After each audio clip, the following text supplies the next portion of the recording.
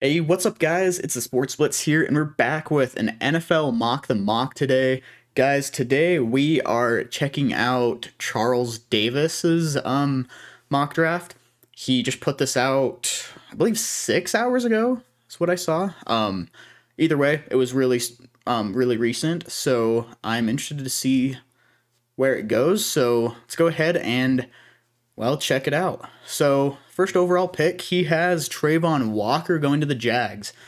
now, I'm not saying that this pick is impossible. I'm not saying it necessarily won't happen, but I personally just don't see it happening. Um, I I feel like all of the uh, I feel like all of the smoke of Travon Walker going number one overall is just smoke. I think I think around this um, time of draft season, there's so many rumors that get thrown out there that we really don't know what's true or not. Um, now, Travon Walker is really, really good. I think he, you know, I I easily think he's a top five edge rusher in this class. Um, he's kind of up there with Jermaine Johnson and KT for me. Um, those of you who have watched my channel for a while know how high I am on Jermaine Johnson. So he's kind of up there in that range. I don't know if he's going to go number one overall, though. So that's interesting. But um, I wouldn't call it a bad pick. Number two, he has the Lions going. Aidan Hutchinson. I mean that that makes sense. If if if the Jags don't take him, I think the Lions will. I think that makes complete sense. Three has the Texans going Evan Neal, and really, I don't think this is a bad idea. Um, I think he's better than both tackles that the Texans. Well, okay, they do have Laremy Tunsil, and Laremy Tunsil is a solid tackle. I guess I should say Evan Neal's ceiling, I think, is higher than Laremy Tunsil's.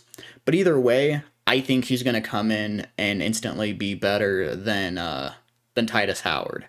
Um, I don't know if this is necessarily the route the Texans are going to go, though, especially with guys like um, like Sauce Gardner still on the board, with KT on the board, uh, even Kyle Hamilton. I, I, I just don't know. Um, but I wouldn't call that a bad pick.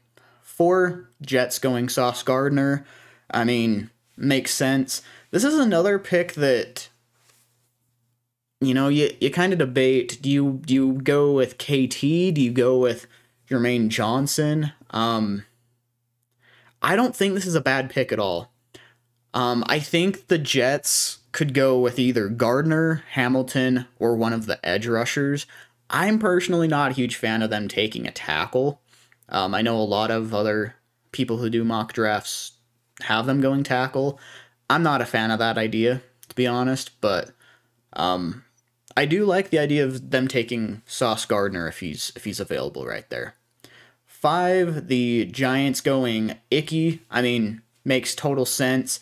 If if Neal is off the board, or even if even if Neal's not off the board right here, Icky is a strong consideration. Um, I'd say if Neal is off the board, I'd 100% go with Icky. If Neal is on the board, I'd still very strongly consider Icky. Um, he's really, really talented and can definitely be a franchise tackle for the Giants. Um, six, he has the Panthers going Malik Willis. I I like this pick. I will say right now, I'm a Panthers fan myself. I love Malik Willis. I know he's raw. I know he's, you know, got a lot to improve on. But he's got a talented skill set. Um, and I mean, I'm not super confident necessarily in Matt Rhule to groom him, but you look at what Ben McAdoo has done with quarterbacks. Um, I mean, he had he he had Eli Manning the 2012, I think, and 2013 seasons, and he did pretty dang well as an offensive coordinator. I think he could actually groom Malik Willis to be pretty solid, actually. Um, in fact, honestly, I'd be kind of interested to see how he'd even do with Darnold. Um, I'm growing to be a bigger fan of, of Ben McAdoo, but this mock isn't about Ben McAdoo. It's about Malik Willis. Um, and I think it'd be a great, great move. Um, he's he's my QB one in this class, and really, I'll be honest, I don't think this class is as weak as everybody says. I think people listen to the media too much and don't watch the film for themselves personally. Um, and I think it's a it, I'm not gonna say it's the best class of all time, but it's a, it's a solid class. Seven, the Giants going KT. I I really like this pick. I really like this pick. Um, usually when I do mocks, KT's off the board by now, and you know it ends up being like Travon Walker right here. So I mean, considering they can get KT at this point, absolute steal. I think he's gonna be a beast. I think people are calling it quits on KT too early. I I don't. I'm not sure I buy all the smoke that teams aren't really in on him. Um, I really like him. Number eight, he has the Falcons going Jermaine Johnson, and as a Panthers fan, this ter- this terrifies me. I love Jermaine Johnson. Those of you who have, uh, you know, again watched my channel for a while know how freakishly high I am on this kid. If he can reach his potential, I genuinely think he can end up nearly an identical player to like Von Miller, Brian Burns. Very similar um, skill set. I think he's going to be a better power rusher than Brian Burns. I think he'll do a little bit better in the run game than Brian Burns. Um, but man, I, I love this guy's talent. I he he overall, man, he he's up there. He he might be my number one edge in this class. I I'm a bit I'm a huge fan of him. But I'm gonna stop rambling on about about him. We've got other picks here. Um, then the Seahawks going Derek Stingley. Um, I wouldn't call this a bad pick by any means. I mean, Stingley's an absolute freak. Um, I mean, really going back a couple years ago, he was talked about as being a future number one overall pick.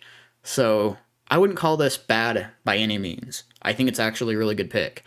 Um, where I get a little bit confused though is I think they may consider going with like Charles Cross um, since he's on the board right here. I think they'd want to start rebuilding that offensive line for whoever their future quarterback ends up being. so, yeah, that's that's interesting though. Um, I do like the pick though. Stingley is a, a stud. 10, he has the Jets going Jameson Williams. Um, I mean, I've I've made this pick a few times actually. Um, I would say if Garrett Wilson's still on the board right here, though, you got to take him over Williams. Wilson, I think, is quite a bit better than Williams, but he's not a bad receiver at all. He's he's probably gonna end up being the best deep threat receiver in this class. Um, the the thing that worries me is his boomer bust potential is so high. Like he could end up being just a freakishly good receiver and being the steal of the draft, or he could end up being, you know, another Mecole Hardman. So I don't really know. Um, I think he's a solid route runner, has pretty solid hands, um, but will be a really good deep threat. So it'll be interested, interesting to see how he does. But I'd personally take Garrett Wilson over him. 11, the commander's going Garrett Wilson right here. I mean, yeah, I'm usually into the into Washington going, you know, with Stingley, but he's not on the board here. With Garrett Wilson on the board, I think that's an awesome pick. I like it. 12, Vikings going Trent McDuffie. I think it might be a couple picks early for McDuffie, personally. Um, honestly, I could see. I think the Vikings could honestly get away with trading back a few spots for him, but I mean, I wouldn't say it's like a terrible pick. Um, yeah, I don't know. I'm not sure how to feel about that one. Um, especially with guys like Kyle Hamilton, Jordan Davis, um, you know, guy, guy, guys like that still on the board. It's kind of debatable. But speaking of, speak of the devil, we've got Kyle Hamilton um, coming up for the Texans right here. Um, I mean, there's been more and more talk about him falling out of the top 10. I don't know how realistic it is. I think it, I think he very well still could go top 10, but I mean, it's it's not impossible that he falls to 13. Um if he does fall here, I don't think he falls past 13 though. So, it'll be fun to see where he goes. Uh 14 um, Ravens going Tyler Linderbaum. Sorry, I'm scrolling all over the place. Um, I like this pick. I think he'd be an upgrade over, I believe it's Ben Powers, I believe is their center right now.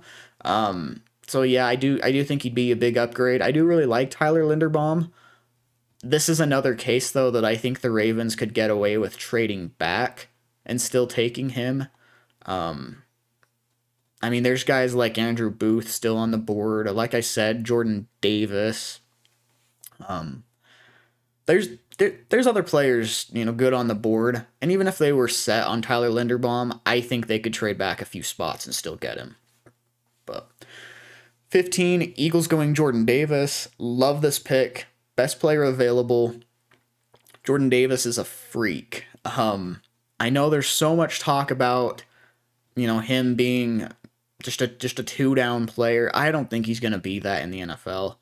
I, I think he's gonna get better at pass rush, be a three down player, and teams are going to absolutely love having him. Um, 16 Saints going with Chris Olave. I like the pick. Best available receiver. Um, this offseason, I've grown to be a bigger and bigger fan of Chris Olave. Um, very similar to Garrett Wilson, actually. Very, very fast. Very, very good route runner. Maybe the best route runner in this class. Really good hands. Um, I think he'd be dangerous in the Saints system. 17, Chargers going Charles Cross. I've made this pick a few times. Again, I don't know how realistic it is that he falls this far, but if he does, I think he'd be an absolute freak. Him and Rashawn Slater as their tackles that's just that's beautiful. So I like it. Um, 18, Eagles going Drake London. And I'll be honest, guys, and I've said this in a couple videos. I'm not a huge fan of Drake London. Um, those of you who follow my Twitter, which if you're not following Twitter, make sure to do that. Um, I believe I have a link to it in my description, so make sure to go follow that. But uh, yeah, I posted on Twitter either yesterday or two days ago that I think Drake London will be the bust of the draft. I really do. I'm not a huge fan of Drake London. I don't think he's fast enough. Um, yeah, he'll be solid as a contested catch receiver, but I think that's all it's going to be. And corners are getting more athletic. Corners are going to, you know, be able to help defend those jump balls. Um, so I don't know. It'll be interesting to see how he does, but I'm not a huge fan of Drake London. I'm just being completely honest. Um, 19, he has the Saints going Devonte Wyatt. Best player available. Um, I really like Devonte Wyatt. Has some really good pass rush skills. He also looked really impressive at the combine. Those Georgia boys this year were insane. Um, but yeah, super strong, solid in the run game. Like he's just he's really good. I think I think that'd be a good pick for the Saints. I think though, with like Trevor Penning still on the board, I think it may be a little dumb to pass up on him just because the Saints kind of have a hole there after letting Tron Armstead walk. Um, but I don't know. I, I don't I don't dislike the pick. Then the Steelers going Desmond Ridder. I think this is a very possible pick. Um, I think Ritter, if he can reach his ceiling, he'll be pretty good. But I personally prefer Kenny Pickett. I think he'd be a better fit for the Steelers. But I don't know. This be this would be an interesting pick. 21 Patriots going Andrew Booth. I like the pick. Um, those of you who watch my videos know I'm pretty high on Andrew Booth. I, I usually have him going about 14 or so to the Ravens. So, yeah, solid pick. You know, good J.C. Jackson replacement. I like it. 22, Packers going Jahan Dotson. Um, now, before I make a judgment, I got to think of what other receivers are still on the board. You got Treylon Burks, who I really like still. I'm a big fan of Burke still. Um, I mean, yeah, Drake London's off the board, but I don't like. I'm not a big fan of him. Um, shoot, what other receivers are still on the board? There's Skyy Moore, but I like I like Dotson over Moore. Um. So yeah, this probably is best receiver available. Packers definitely need some receiver help. I know they signed Sammy Watkins, but I definitely think they'll go after another receiver. So I like it. Dotson plays a lot big. He plays a lot bigger than he really is. Like he's only 5'9", 5'10", I believe, about 180 pounds, but he's a really good route runner. I've I've made this comparison a few times. He is like a shorter DeAndre Hopkins to me. He's just so good at going up there and attacking the ball.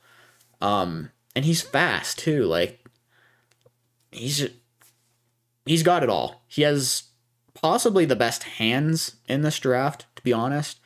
Like he's just he, he's so talented. 23 um Cardinals going Treylon Burks. I'm I don't really understand that pick to be honest. I mean, they already have DeAndre Hopkins. They re-signed AJ Green.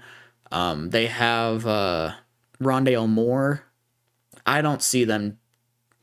I don't see them taking a first round receiver. Um, I think right here they got to take like Kaiir Elam, or they could even take an edge. To be honest, I just I don't see receiver. I'm not a fan of the pick. And I, this is coming from someone that does really like Treylon Burks as well. 24, Cowboys going Kenyon Green. I would prefer Zion Johnson, personally. I like him a little bit more than Green, but Green is really good. Um, I think he still has some insane potential, could end up being a Pro Bowl guard early on in his career. Um, but again, I'm just a little bit higher on Zion Johnson. Not a bad pick at all, though. 25, Bills going Kyler Gordon. Don't hate the pick. I know the Bills need some sec some corner help. I was gonna say some secondary help, but they it's really just corners. I mean, they got Micah Hyde and Jordan Poyer. So yeah, I, I would probably if I were the Bills, I'd prefer Kaiir Elam right here as well, but Kyler Gordon's really good too. Um, you could even consider like Roger McCreary, but Titans here going with George Karlaftis. I think that's a solid pick. Um, they're another team that could honestly probably go with Zion Johnson though, get their Roger Saffold replacement, but not a bad pick. Uh, there he is. Uh, Bucs taking Zion Johnson. I mean, I think it makes full sense to me. I mean, they lost Alex Cappa in free agency, and Ali Marpet retired. So, yeah, there you go. Zion Johnson would be a huge upgrade right there. 28, Packers going Trevor Penning. Now, I'll be honest, I don't know how realistic it is that he falls this far, but if he does, that's that's a huge hit for the Packers. I really like Trevor Penning. Super physical. 29, Chiefs going Christian Watson. This is one that I haven't really considered too much, but I kind of like it. Um, he was really really fast at the combine. Um, if I remember correctly, he he ran the um sorry, he ran the gauntlet. Um, I could I couldn't think of what it was called for a minute, but he ran the gauntlet, and if I remember correctly, um, he looked really good, really smooth while doing that. Um, I think he'd be a really good player for the Chiefs. Skyy Moore is another player that could they could consider here, though. 30 Chiefs going Boye Mafe. I also really like Boye Mafe. I could see him possibly slipping into the first round. Um, they could also consider David Ojabo right here. I mean, if Ojabo does get through his injury just fine, he'll he'll be a stud. Um, it's all just a matter of how serious is that injury going to be long term. 31 Bengals going Kaiir Elam. I mean, I, I, like it. Eli Apple wasn't great this last year, and if Elam is still on the board at this point, I love it. They could even consider Roger McCreary, but yeah, really good pick. And hey, I've made this pick a few times too. Um, Kenny Pickett going to the Lions. I I like it. You know, Lions don't have to trade up or make any crazy moves for quarterback. They just Kenny Kenny Pickett falls right into their laps, and I like it. I think he'd fit really really well with Dan Campbell. Um, but yeah, overall, this is a solid mock. There's a lot of picks though that really kind of make me scratch my head a little bit, but um yeah, I don't think it's terrible. I think it's a I think it's a pretty solid mock. Um let me know what you think of it in the comments section below. Um you know, if it, if he made a pick that you want your team to make, you know, definitely comment that as well. But uh yeah, guys, make sure to smash that like button, subscribe, and again, follow the Twitter in the description below. And uh I'll see you next time. Later.